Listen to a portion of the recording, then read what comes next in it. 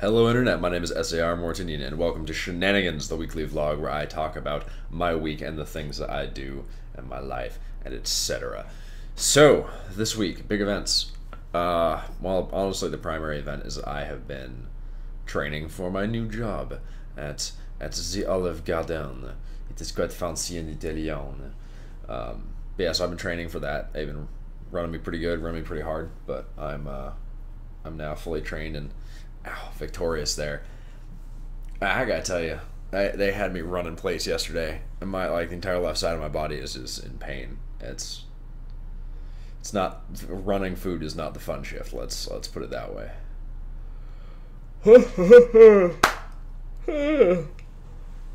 so, I realize that this is a day late, and I'm sorry about that. But they, uh, I just couldn't fit in a normal Saturday night uh, shenanigans with the schedule I had this week. As it should, it'll be better in future weeks, just not you know not for this week. Um, but on the good news, in gaming news, uh, The Wolf Among Us Episode Five, the final chapter, the uh, release date has been announced, which is unusual. Normally, they just kind of like don't tell you at all, and then just magically you get an update one day, and everyone's like, "Oh, Wolf Among Us is out. This is awesome." But uh, no, it's it's going to be July eighth, so uh, two days from now, this Tuesday.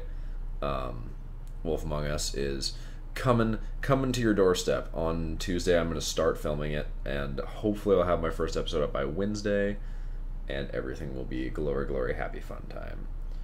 Um, let's see what else. Oh well, July Fourth happened. That was that was last Friday. That was fun.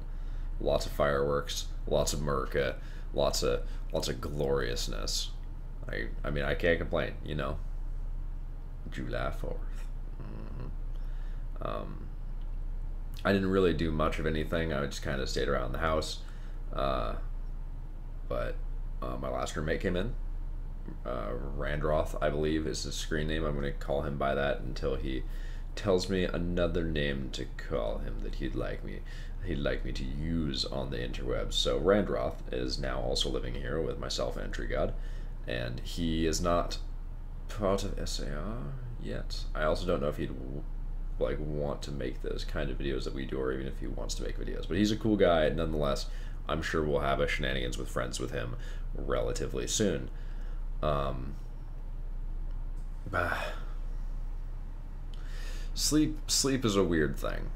So I don't know about y'all, but like there I'm finding that there's like this magic temperature to my sleep that makes it good or bad um, like it, it's like a five degree range and if i just get out of it i do not sleep as well and it's really weird. But on the flip side of that when i sleep in the correct range i have dreams about like fighting awesome glorious battles and being a champion and and winning and getting the girl and everything's wonderful and then i wake up totally rested after only six hours of sleep. I have no idea what that is. It might just be because i was really tired so I mean, tonight I might get I might get the same deal tonight, which would be you know be nice. But um, yeah, I've actually after this I've got tons of clothes. Well, you see them there on my bed. I've got big load of clothes I need to fold and put into drawers, and then after that I actually have to attack my work clothes and iron them and uh, hang them up. And it will be glorious. But anyway, if y'all want to see me in the real world at some point, uh, for the next until I am no longer working there, you can visit the Olive Garden in Lexington, Kentucky. Why do I say the Olive Garden in Lexington, Kentucky? Because there's only one. There is precisely one in Lexington, Kentucky. In fact, I think it's the only one in Fayette County. We're going to go on an adventure, everyone. No, I don't want that search. Don't autofill. Locations. We're going to find out if there are any others. No. There is another one in this county, but it's in Richmond, which is further south. The Olive Garden in Lexington. I work there now. I'm a server. You can ask for me by name, and I will serve you. I will serve you with wonderful happiness, and then you'll give me an awesome tip because you love me. See how this works? Yeah, yeah. Yeah, you do. fun, fun, fun. Let's see, beyond that, Loot Crate is uh, the July Loot Crate will actually be coming to this apartment. uh, this month instead of shooting to my parents' house again. So uh, that video will be up on time rather than rather than many days late. And uh, hmm, hmm, Canada. Canada's a fun country. Um, Canada Day was this week, if I recall correctly, like Wednesday or something. It was it was weird day, and I is Canada Day like Canada's version of July Fourth?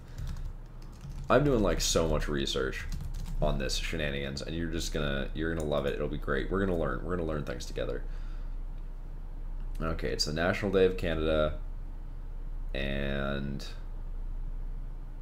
it's the anniversary of the enactment of the British North America Act, which united three colonies into a single colony called Canada. Oh, okay, so yeah, it's basically their Independence Day, except it's not independence, it's uniting to be part of the British Empire. But I mean, you know, still, it's it's similar. Similar concept. Just not quite as much freedom in the execution. Because they're, you know, being like, yeah, we want a king. It's a weird. Canada's weird. Monarchies are weird. I don't understand how we still have them in England. I mean, it's and at this point, the you know the Queen is it's totally a figurehead. I haven't heard of her doing anything significant in terms of politics in a long time. And I don't think the royal family would dare to interfere with Parliament um, at this point. It's it's like a weird celebrity kind of thing. I, I don't understand how the aristocracy and the monarchy survives continuously in, in England. It's just it's very strange to me. Maybe that's just me. I'm sure someone from England would think it's strange that we don't have an aristocracy and a monarchy. Ooh, almost. I keep almost falling out of my chair today. It's it's just one of those things. I mean, what are you gonna do? I'll get better at it. Uh, speaking of that, though, uh, falling out of my chair, that is, I was I continued to fall out of my chair today while I was uh, filming more uh, Murder and The Hidden, which I'm in actually in the middle of uploading in the background.